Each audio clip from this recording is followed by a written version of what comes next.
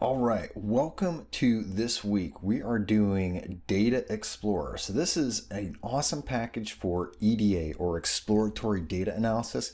So if you think about it, we spend the bulk of our time as data scientists working on wrangling data and getting it prepared.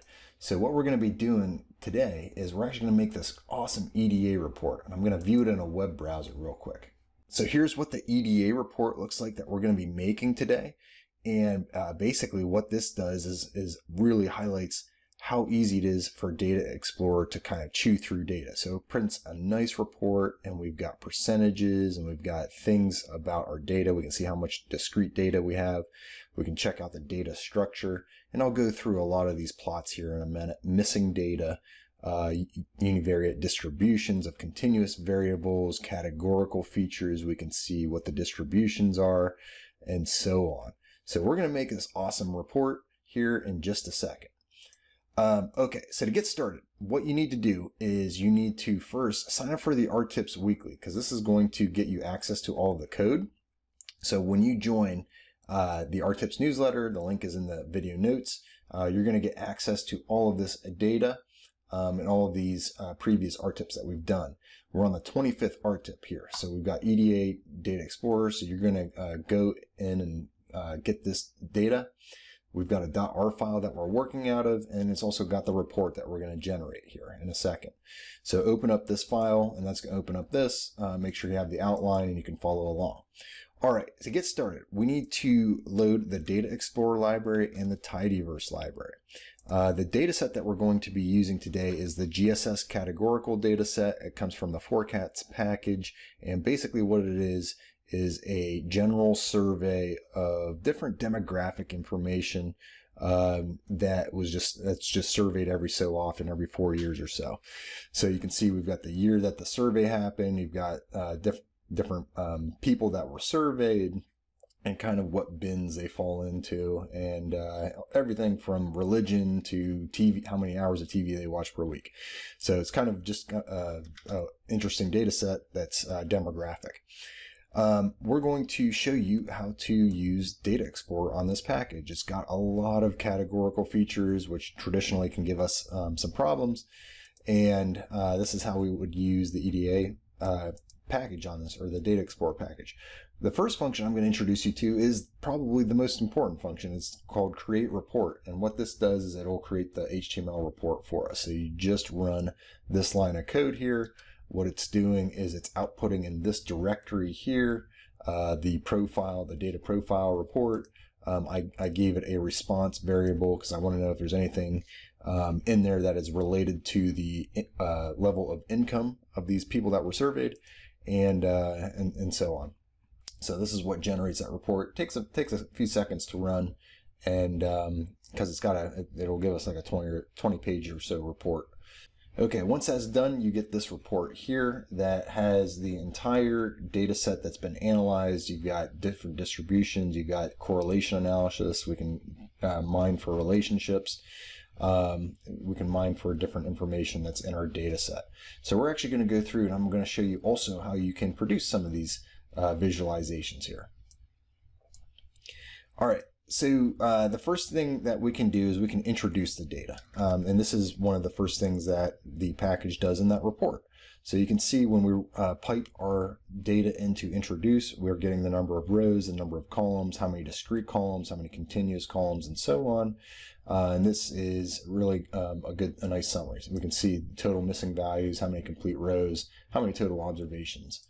Um, the next thing that we can do is we can actually plot the introduction. With this plot intro function, it takes some of these features here and puts it into a plot and makes it a little bit easier to understand. So in our report, we've got discrete columns. This is uh, this would be like your categorical data. You have continuous columns. So this is your numeric data. Uh, your number of all missing columns, your complete rows, 52% are completed, and then 5.3% um, have missing observations. So it's a good summary. Um, the next thing you might want to do is you might want to check out the missing value. So it's got profile missing and plot missing. Again, one is the plotting function. So this plots each of, each of the different features, and I can see age has a little bit of missing, uh, but the big one is TV hours. There's a lot of uh, people that were surveyed who left out the number of hours per week they watch of TV. Um, we can also get this with the profile missing in a different format. It actually returns a data frame. So it's a Tibble 9 by 3 same information, the number of missing observations and the percentage of missing. These are, again, very good to have when you're doing exploratory data analysis. It's, uh, the number two thing that I look for. Um, then we can move on to continuous features. They have the plot density function, which is really cool. Um, we can plot any of the continuous features, the density, and we can see the age. You know, most people seem to be between, we'll say 30 and 50 years old.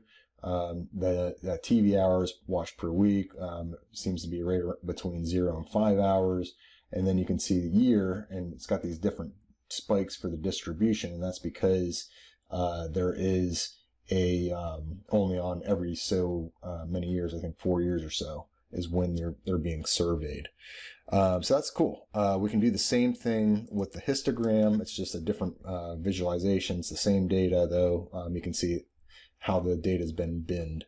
Um, and again, we can see there's a four year gap here between the year, and that's why we're getting that kind of funky graph with the distribution of the density. Um, the next thing we can do, we can check out categorical features. So we've got plot bar, and this is really cool because think about how much time it would take to make all these bar plots. So you get them all in one just foul swoop. Uh, with this plot bar function, um, you can see, you know, most people seem to be married or not married. Some are divorced, some are widowed, some are separated, but the bulk seem to be married. Uh, race, predominantly white. Uh, income, uh, either 25,000 or more or not applicable seems to be the two main categories. Um, the party ID, independent, um, not uh, Democrat, strong Democrat, uh, not strong Republican, some, and so on.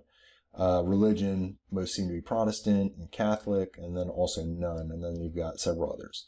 Um, denomination, not applicable, other, no denomination, Southern Baptist, and so on. So you've got lots of different information in there. Uh, next, you can plot, you can look for relationships. So you can check out uh, with this plot correlation function, makes it super easy to make correlations.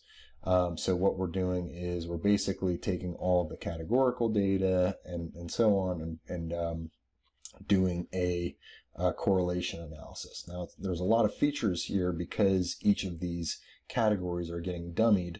So you can see that, um, especially if there's a lot of categories, uh, you can get a pretty crazy looking plot. Um, so what you might want to do is if you hit the tab here and if you do max categories and just do something like five, uh, what it'll do is it'll make it a lot easier to, to visualize. So we can see here um, the big thing uh, looks like race white um, and race black. There's a, a negative correlation there. Um, the uh, what what I'm normally interested in is if I do maybe 10. Um, if we take a look at the uh, art underscore income, uh, still looks like it's not showing in here. Might need to increase it to 15 in order to get that one. Um, let's see yeah, it doesn't look like it's going to show up. But anyways, um, you can kind of adjust this max categories to um, increase or decrease the, the granularity of your uh, of your correlation plot. Um, and you can see some, there's some relationships in here, uh, which is pretty interesting.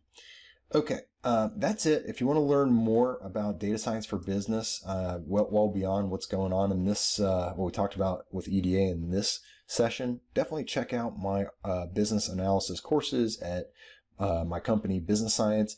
Uh, I have an R for Business Analysis, which is the 101, the basic course that teaches you all the 80-20 tools, the most essential tools like the Tidyverse um, and Tidy models. Uh, it's an eight-week course. Definitely check that out if you're interested in learning more. All right, see you next time.